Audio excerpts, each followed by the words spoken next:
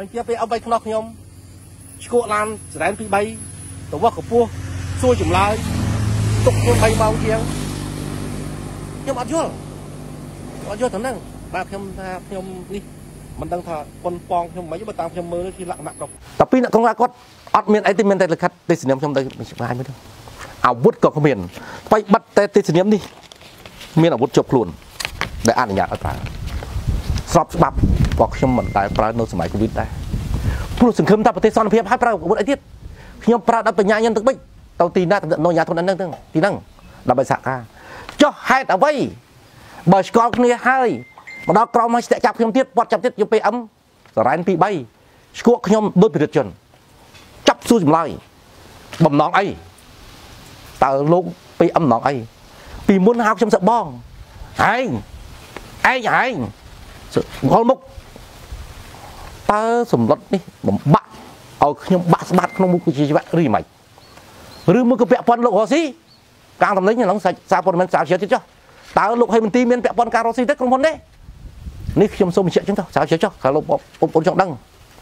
ខ្ញុំឲ្យក្រសួងខ្ញុំបើកការស៊ើបអង្កេតហើយចឹងនេះ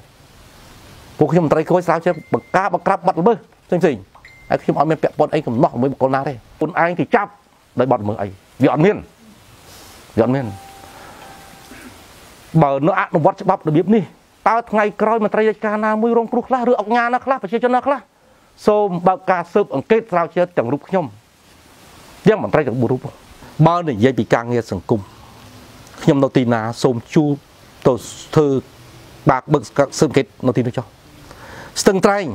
មានតាប៉ែនគាត់ជាសាក់សៃគាត់ស្លាប់ហើយមានជាច្រើននៅស្ទឹងត្រែង ខ្ញុំបេសកកម្មតំពេញភារកិច្ចនៅបវត្តមានអាដាមលុយសផាតមានអាដាមហ៊ុនណេងមានអាដាមជាងអំ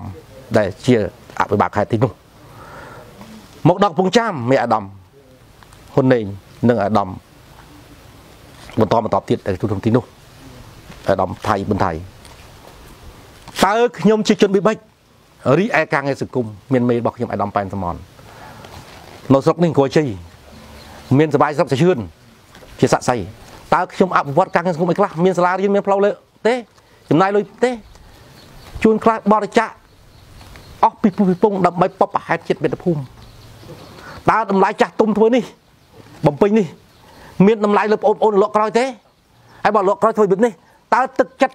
ដែលអ្នកជួយទាំងអស់នោះមិនមែនតែខ្ញុំថ្ងៃក្រោយប៉ះលើដរាទៀតថ្ងៃនេះប៉ះខ្ញុំថ្ងៃក្រោយប៉ះណាតម្លៃដល់ឯណាក្រុមសិលធនដល់ណាការតែងតាំងមុនឡើងសាក់មុនមួយមួយឆ្លងកាត់អី បានរៀនសូត្រទេខ្ញុំចង់បានបញ្ជាក់ត្រង់ហ្នឹងតែប៉ុណ្្នឹងទេ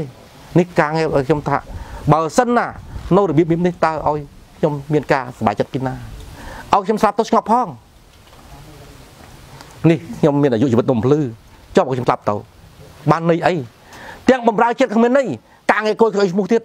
ដោយសារលោកឯងទៅចាប់ធ្វើតាមចិត្តហ្នឹងអញ្ចឹងបើខ្ញុំតែទៅទូចថាឲ្យរដ្ឋមន្ត្រីក្រសួងសេដ្ឋកិច្ចនិងធននិងអាយដាមអគ្គនាយកគួយ រកយុទ្ធធរក្នុងនាមខ្ញុំមន្ត្រីគួយរដ្ឋកោមានច្បាប់គួយមានច្បាប់អង្គបាលយុទ្ធធរក្នុងនាមបំពេញភារកិច្ចរបស់ខ្ញុំរីឯវិជ្ជាជីវៈរឿងនេះសូមបំភ្លឺនឹងសាក់យកគ្នាមកដើម្បីចម្លើយសំណុំរឿងនេះនេះថ្ងៃក្រោយឈប់ទី1ខុបខិតមេឃុំខ្ញុំឲ្យបំភ្លឺជាវិជ្ជាឲ្យអត់ឃើញដើម្បីធ្វើបាបទី2ដាក់ពាក្យបណ្ដឹងទៅស្រុកឲ្យធ្វើអន្តរាគមហើយក៏មិនតន់ឃើញមិនតន់ឃើញចម្លើយមកដែរទី3 ចំពោះលោកហេងមន្ទីខ្ញុំដាក់ពាក្យបណ្ដឹងទៅកាន់កងរាជអាវុធហត្ថទៅប្រទេសរួចទៅហើយចំពោះរឿងខ្ញុំខ្ញុំបានដាក់ពាក្យតាំងពីកើតហេតុឲ្យទៅតាមតំណានុក្រមសាខាខេត្តកកុងមួយច្បាប់អភិបាលខេត្តកកុងមួយច្បាប់រួចទៅហើយតែអត់ពេលបណ្ដឹងទេជាព័ត៌មានបឋមក្រោយឃើញការយឺតយ៉ាវបានខ្ញុំដាក់ពាក្យបណ្ដឹង2ទី1ពាក្យអន្តរទេស ទី2ទៅអគ្គនាយកគយរបស់ខ្ញុំព្រោះរឿងនេះបើសម្ដេចមានអនុសាសន៍ថាកើតទីណាស្រ័យទីនោះកើតទីណាស្រ័យនោះបើពិបាកស្រ័យខ្ញុំនឹងបន្តទៅរដ្ឋមន្ត្រីទៀតបើរដ្ឋមន្ត្រីតពិបាកស្រ័យខ្ញុំសូមទៅដល់សម្ដេចអគ្គសេនាធិការដែលជាប្រមុខរាជរដ្ឋាភិបាលក្នុងនាមជានាយករដ្ឋមន្ត្រីខ្ញុំរស់ក្រុមលុបគាត់បើសម្ដេចមួយទៀតក្នុងនាមសម្ដេចជាមេបកក្នុងនាមខ្ញុំជាកូនចៅ សូមឲ្យដោះស្រាយទៅតាមផ្លូវរដ្ឋបាលឯចំពោះរឿងនេះបើមិនចប់រឿងទៅតឡាការគង់តែខ្ញុំទៅទេខ្ញុំសុខចិត្តដើរត្រុកត្រុកទៅតាមនាដៃ10ព្រោះខ្ញុំអត់មានលុយទេខ្ញុំជាមន្ត្រីរាជការមួយនេះលោកអូនមកឃើញថាកន្លែងនេះកន្លែងកប់ខ្លួននៅប៉ុណ្ណឹងធ្វើជាការចំជីវិតទេខ្ញុំគ្មានវិឡាគ្មានឡានណាធំដុំទំនើបទំនើបជីទេ សើបគេចុះខ្ញុំជីឡានតែកចាស់ចាស់ទេ តែបាត់ពិសោធន៍6ចំនួនហើយឆ្លងកាត់មួយចំនួនហើយរួមចំណែកដែលខេតអីបានខ្ញុំមានរូបក្រោយក្នុងនេះខ្ញុំមានការពាក់ព័ន្ធទម្រាំបានប្រជាជនកម្ពុជានេះឆ្លងកាត់6របបហើយដោយសម្ដេចយកយុទ្ធដូរអញ្ចឹងតម្រាំមកមកនេះខ្ញុំបញ្ជាក់ខាងដើមថានគរមានស្ដេចប្រទេសមានច្បាប់ខ្ញុំចង់ដឹងច្បាប់វាម៉េចខ្ញុំនឹងលុះត្រាតែ ខ្ញុំដើរទៅចាហើយប្រកាសខ្លួនថាស្អែកស្លាប់មកស្លាប់ខ្ញុំមិនខ្លាចស្លាប់ទេទោះបីបងប្អូនជាប្រព័ន្ធបុកឡានបច្ចេកទេសបាញ់បោះយ៉ាងណាក៏ដោយខ្ញុំលេចស្លាប់ហើយខ្លាចស្លាប់ហើយបើស្លាប់គ្មានដំណោះណាចិត្តតែ4រូបហ្នឹងទេដែលសម្រាប់ខ្ញុំរឿងនេះខ្ញុំសំណូមពរតែបន្តគាត់គឺថាសូមអោយសម័យខ្លួននៅពាក់ព័ន្ធនឹងខ្ញុំមេត្តាសូមឲ្យយកផ្លូវប្រធរ